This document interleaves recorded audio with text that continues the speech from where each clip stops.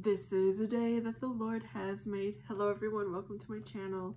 My name is Vanessa. I have been reading Titus in my Bible, which is in the New Testament. I happened to just flip through the New Testament section and just open whatever wherever it landed. It landed on Titus. I believe that everything happens the way that it should. And I believe it is God who is ordering everything. But I do know that everyone has their own belief. And I'm just letting you know I'm a Christian. So my videos are coming from that point of view, first and foremost. Every now and then I feel like sharing actual scripture, which I try to post on Sunday. It's not consistent because I don't feel compelled to share all the time. The reason Titus came at such an important time is because on Tuesdays, soon, I want to start posting transformation Tuesday type videos. Again, coming from a Christian point of view, it will be giving my perspective, my life experiences, sharing with people how to improve your life, find purpose, to excel. It will mean whatever it is supposed to mean to the person who's watching it at the time. That's what I want for it. So Titus talks about appointing elders who love what is good. A good elder is blameless, they're faithful to their partner, they're obedient, children of God. It talks about an overseer who manages God's household must also be blameless, not overbearing, not quick tempered, not drunk, not violent, no dishonest gain, must be hospitable, loves good, self controlled, upright, holy, and disciplined. Chapter 1, verse 5 through 9. And then verses 10 through 16, it speaks about rebuking those who fail to do good. This is where I struggle because I'm a loner to begin with. And the reason I'm a loner is because there aren't many that I feel relatable to. I know that no one is perfect. I know that there is no perfect relationship, no perfect pairing. I just struggle highly knowing that the Bible is my foundation in everything I do. Rebuking those who fail to do good. Okay, this is speaking to me because it says people who are rebellious they're full of meaningless talk and deception. They must be silenced because they are disrupting whole households by teaching things they ought not to teach, and that for the sake of dishonest gain. It says Crete's own prophets said Cretans are always liars, evil brutes, lazy gluttons.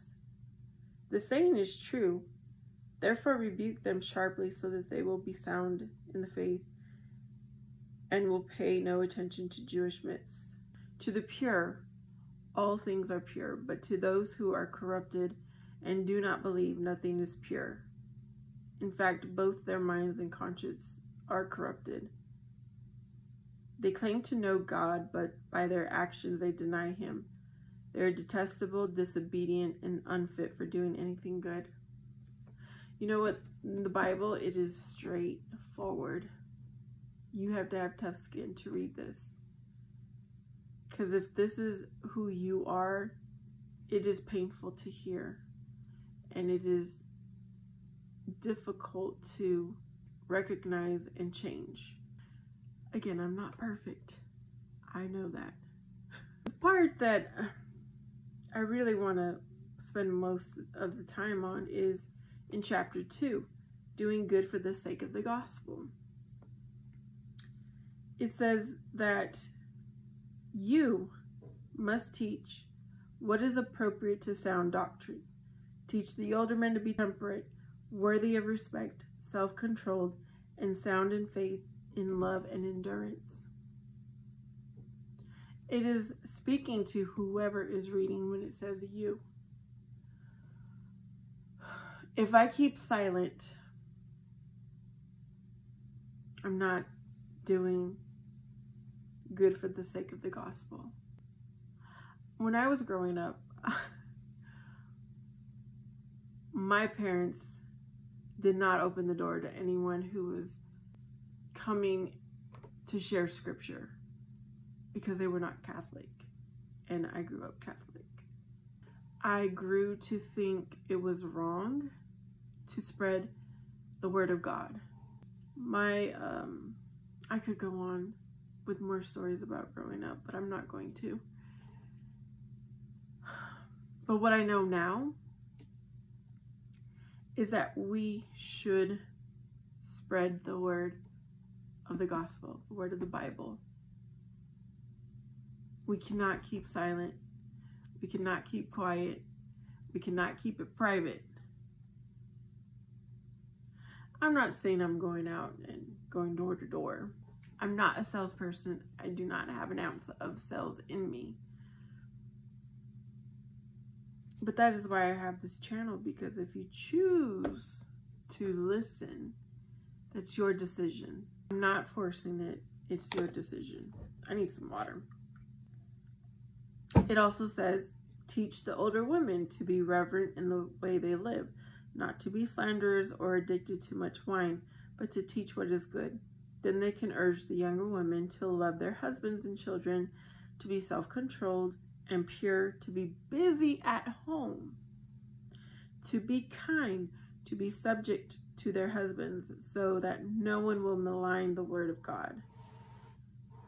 And likewise, encourage young men to be self controlled. In everything, set them an example by doing what is good. In your teaching, show integrity, seriousness, and soundness of speech that cannot be condemned so that those who oppose you may be ashamed because they have nothing bad to say about us. Mm, what about us? What about us? What I read is if you're doing good and being obedient as a Christian person and you go out to be an example, no one has anything bad to say about you because you're doing good. That's my interpretation. Please put in the comments what you're thinking. It also says teach slaves to be subject to their masters in everything, to try to please them, not to talk back to them, and not to steal from them, but to show that they can be fully trusted, so that in every way they will make the teaching about God, our Savior, attractive. Now, that paragraph I am really struggling with. Is it really talking about a slave? Am I a slave? Am I a slave to what? To who? The grace of God teaches us to say no to ungodliness and worldly passions, and to live self controlled, upright, and godly lives in this present age, while we wait for the blessed hope, the appearing of the glory of our great God and Savior Jesus Christ, who gave himself for us to redeem us from all wickedness and to purify for himself a people that are his very own, eager to do what is good. So we should encourage and rebuke with all authority. Do not let anyone despise you. Scripture is so confusing to me. It appears to be contradictive. To me, I struggle a lot to understand what this is saying. And I have been in Bible study groups you're listening to the opinion of a human person who does not know Christ, who does not think like Christ. Doesn't matter how many Bible studies I could possibly be in and from whom is the leader of that Bible group or who makes up the Bible group. This is my struggle. I will never really know the intent of these words until it's my time to face Jesus Christ. all we can do is do our best to follow, to follow what is in here. I am very curious to know if anyone wants to comment on any of I am curious to know what how others perceive this. Doesn't mean it's going to change my mind, but I am curious to know because if several people have the same interpretation, then it could be possibly what the intent is. And sometimes I think I'm talking so much gibber. It's like, uh, okay, what is going on? Let me let me give an example of what I feel is contradictory. One of the Ten Commandments is said to love thy neighbor. But then here, what if your your neighbor is failing to do good can you love them and rebuke them at the same time?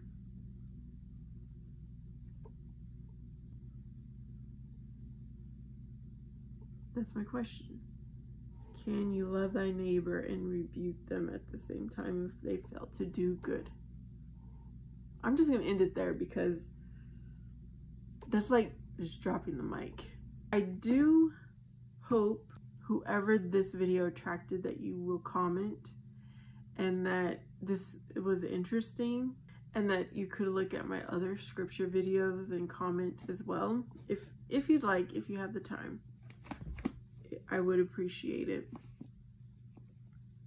y'all thank you for listening to my thoughts and me read Titus New Testament in the Bible I love you guys remember today is what you make of it please like subscribe comment, comment, comment. If you do nothing else, I would love a comment. And um, I will see you next time.